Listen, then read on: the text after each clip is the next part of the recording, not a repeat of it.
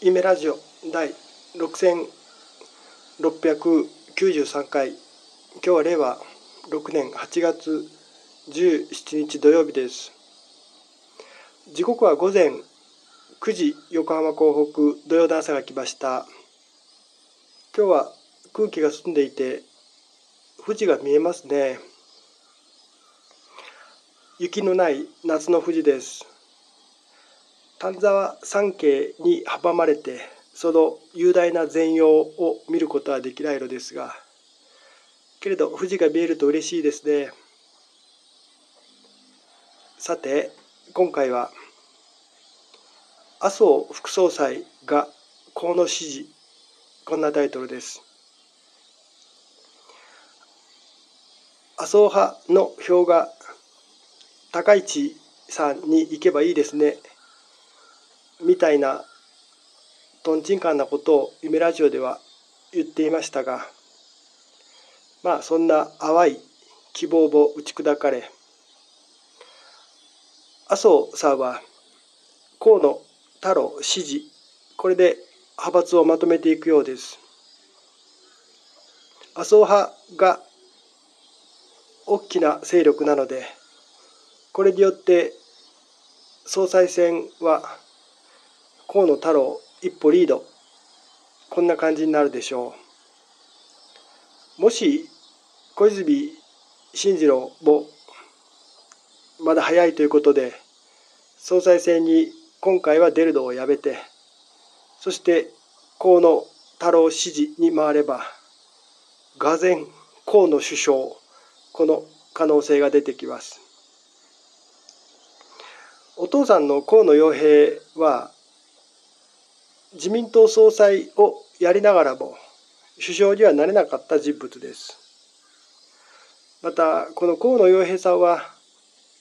若い頃に新自由クラブというそういう派閥を作って一回自民党から出たそういう経験もある議員さんなんですよ。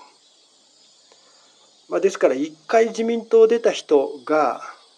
また戻ってきて自民党総裁になるっていうのも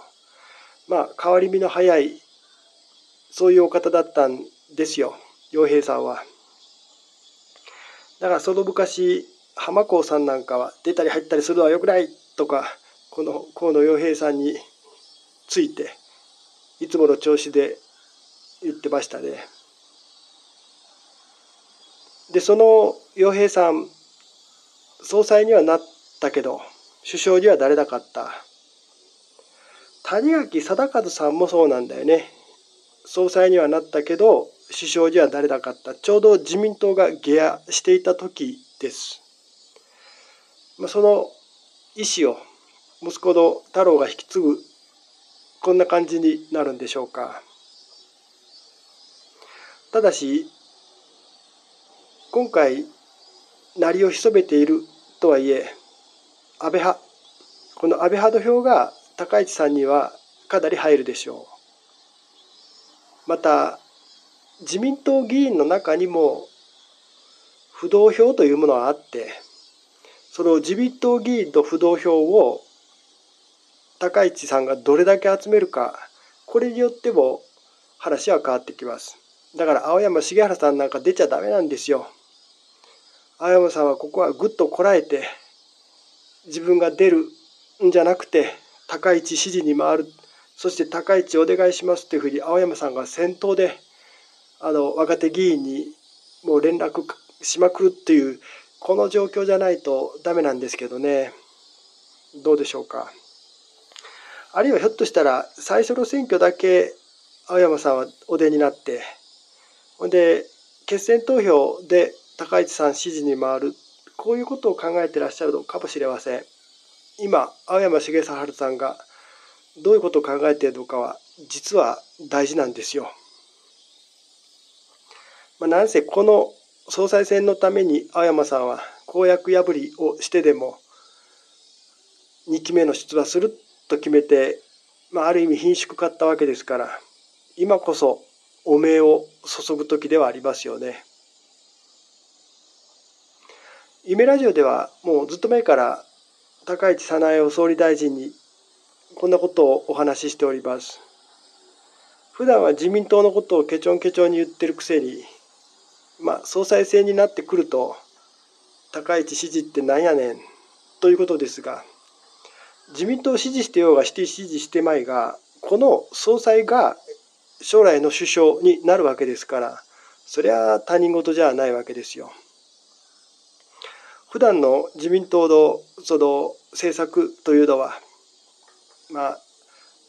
消費税を上げようとか、移民を受け入れようとか、そういうもうろくでもないものばかりなんですが、高市早苗になってくると話は変わる。私はそれより見ております。また何よりも今の自民党執行部は岸田首相をはじめもうチャイナべったんこみたいな人があっちこっちにもいるんですがそういう人もこの際一掃してほしいですね。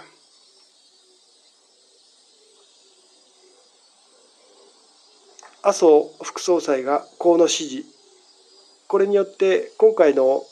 総裁選の行方もまた大きく変わりましたね。茂木さんは茂木幹事長は麻生さんの支持を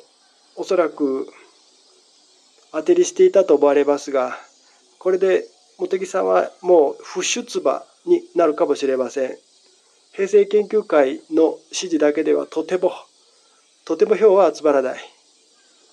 もう田中派竹下派の流れは完全に時代遅れなんですよ。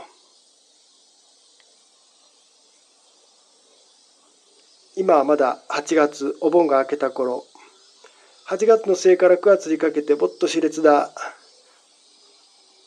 権力闘争始まるでしょうまあ面白いといえば面白いそういう政治の季節ですまたアメリカ大統領選挙この行方も日本の自民党総裁選に影響を与えるでしょう。リスナーの皆さんと注目していきたいと思います。